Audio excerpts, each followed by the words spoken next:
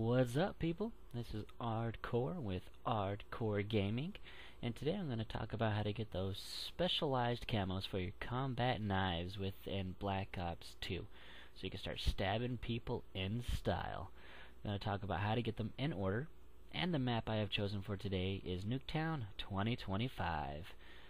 Now, the DEVGRU here, the very first one you're going to get, requires you to get 10 knife kills. Fairly easy, correct?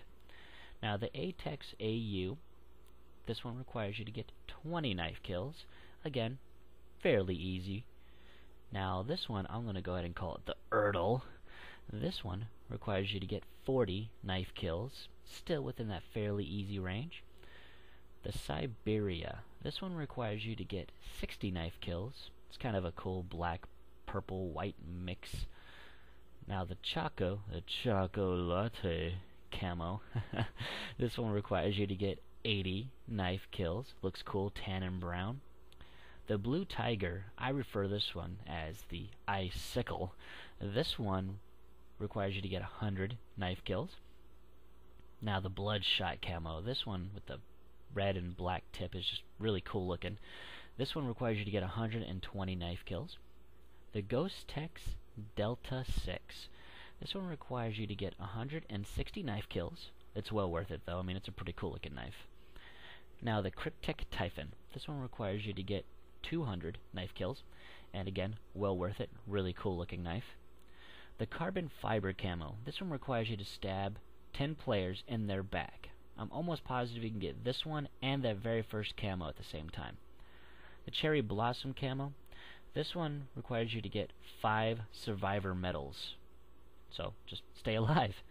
Now the Art of War camo. This one requires you to get five revenge medals. So just kill those people that killed you, but make sure you do it with your knife. Now the Ronin camo. This one requires you to kill an enemy with your knife, steal their weapon, find them later on in the match, and kill them with their own weapon. You need to do this five times. Now the Skulls camo. This one requires you to get five bloodthirsty me medals, so just uh, go to town on them. Now the very last camo being the gold one. This one, basically all you need to do is get every other camo that I mentioned in this video and you'll be good to go.